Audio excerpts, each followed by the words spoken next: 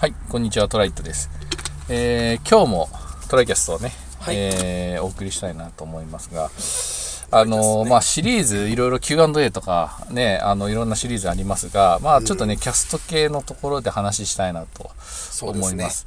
えーまあ、あの、過去だったら Q&A とかでね、どこ行きたいとかさ、ね、1000円あったらとか、なんかいろんなシリーズありましたが、まあ、そういうのにちょっとね、似たような Q&A じゃないけども、うんえーまあ、こっちでね、自分たちで考えたというので Q&A にしてないというのもあります。はい。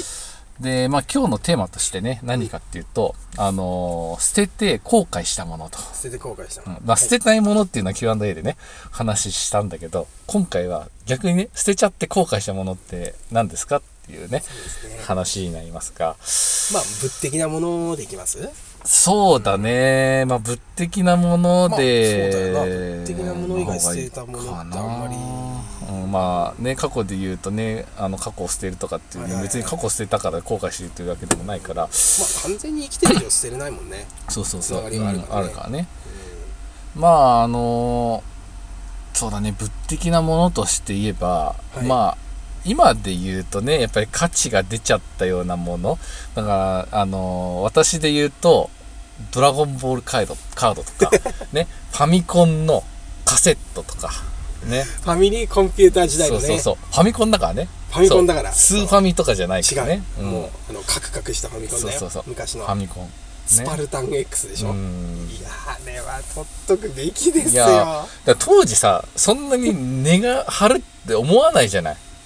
で当当時そうそうだから物に対しても確かになんか大切にしようとかそういう流れはあったけど価値が生まれるものとしてさ見てないじゃん全部をさうん。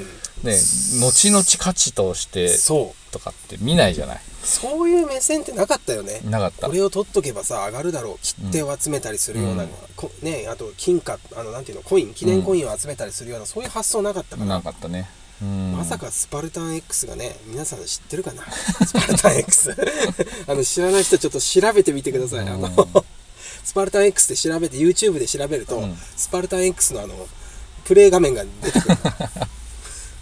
本当に。いやもうねだからそこの部分からするとな目先の利益になる？だから今買っといてだ当時が例えばドラクエとかが人気が出ちゃって手に入らないって時に転売するとか、もうだからすぐ目先のさうん。目先の部分での転売の話とかだったらわかるけど、うん。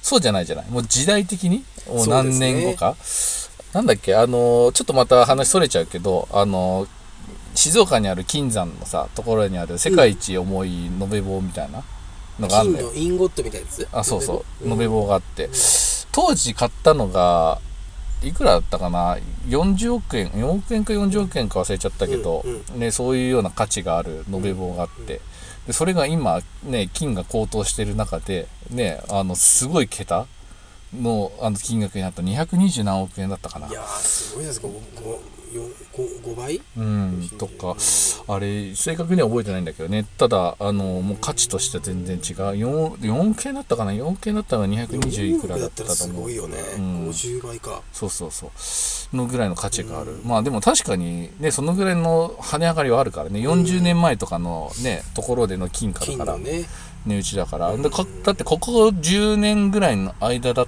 てうん。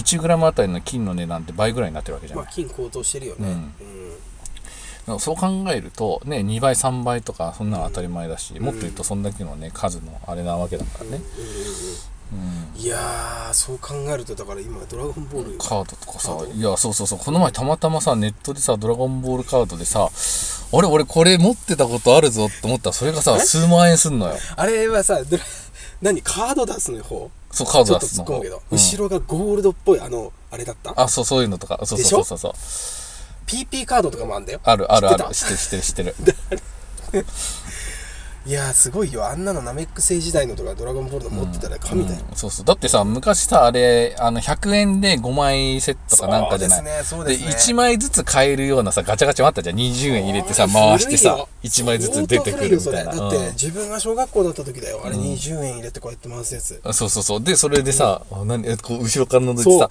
あ、もうちょっとキラが出るとかさ、そうそうそうそうそう。そうよく知ってるね。でたまにバグってるとね2枚あ、そう2枚ぐらいさ、おなんか、なんか抜けねえんだけどみたいなのでね、お、やった2枚出たよとかって言って。知ってる？10円をさこうやってこうやってやってぬ引っ張って取るんだ そう10円で挟んで。こうやって取るんだよ、懐かしいね。いやほんとそうだよね、だからねそういうふうな時代だから1枚20円とかのね当たりカードを引いちゃった日には、うん。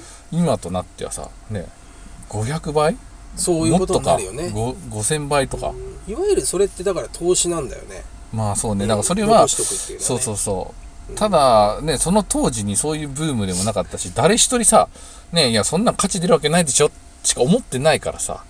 でファミコンなんてねもっと新しいの出るんだから、うん。ねもっといいものをもっといいものをっていう時代じゃない、うん。そうだね。古いのはそうだよね。もうこれいらないっていうそう感じだよね。そうそうそうそう、うん。で必ずその律儀に売る売る子もいたな新しいソフトを買ったら今まで使ってたソフトをもう売るっていうああなるほどね、うん。で中古としてさ販売されるっていうね。流れだよね。そうそうそう。常に新しいソフトをうん。23個持ってんだけど、うん。そのどれそれを塗り替えていくわけだよ、ね。貯めていかないで。でそういう子もいたよね、うん。もったいないよな。うん。まあ今考えるともったいないなと思うけど、まあでも当時としては頭いいなって思うよね。そういうやり方はさ。そう。うん。そんなことはかんあの値段が上がるだろうとかね、そんなこと思わないわけだからさあ同じだよね。私も捨てて後悔してるもの。だからビックリマンシールですね。特にヘッドロココ。いやあれがさいくらすると思ってんだよテレビであのブラックゼウスがさ状態いいもので今10万円以上だったかな、そんなすんの？うん、ホログラムの、えーあホログラムのやつね、確かにそれは高状態いかもしれない悪くたって数万円するとかさ、でヘッドロココもさねかっこよいいじゃんあれ、ね。プリズムのキラーだけどさ、でまあビックリマンシールはすごいやっぱ値段ついてんだよねあの初版のやつは。ススーパーゼウスからシャーマンカーンからってさ、でそれもさ昔はさみんなペタペタペタペタあそうそう普通に買ってったじゃんね。無駄にさなんかいろんなとかにさ貼ってんだよね。それを含めだからもうないよね、うん。処分しちゃって後悔してるよ。そうそう貼っちゃって後悔してるとかね。タンスにあんだけどみたいなさそうで後ろの面もう後ろ面がないから。そうそうそうそう復元できないしさ、うん。もうは価値としてはもうゼロに近いよね。ね。もうそんだけの値打ちあってもさ。うんゼロだね、剥離した状態だからもう無理だよね。うん、そうそうそう。なんでねあれシールだからね貼るやつはやっぱいるよね。いるね。ううん。すごかったよ。ノートに貼ってるやつがいたから。ああいるいるいる、うん、コレクションとしてね。いたねそんな。でもそれね今さずっとねなんか持ってたら大変なことになってるからね。いや大変ですよ。それこそ本当ですよ、うん。あのねえ下手すりゃそれぐらいの。まあビックリマンの最高金額ってそ付録あの付録とかさ福袋に入ってたやつとかはうん。それぐらいいってんだろうけどさ。でもやっぱりそのブラックゼスとかすごい高い、うん、高いね、ヘッドロゴを捨てなきゃよかったな。まあねそういう感覚にないじゃんやっぱりさ、うん。昔だとさ、うん。いやそこはやっぱり難しいよね、難しいね。うん、今だったら、うん。ねもしかしたらあ取っといたら価値出るかもしんないよとかってさ、言えるけどさ、うん。当時そういう感覚って1ミリもないからね。う、ん。もう普通にさもう古いから捨てる？もう使えないから捨てる？そう、あのもっと言うとさファミコンなんてさファミコン自体が壊れちゃってるからさ、うん。ねもう次の新しいねゲーム機とかが出てんだったら別に古いのやる必要ないじゃない。うん、だ簡単に言えばプレイステーションからプレイステーション2になってプレイステーションやる意味ありますか？みたいなさ。そう。でそういう感覚じゃん。取っとかないよね、うん。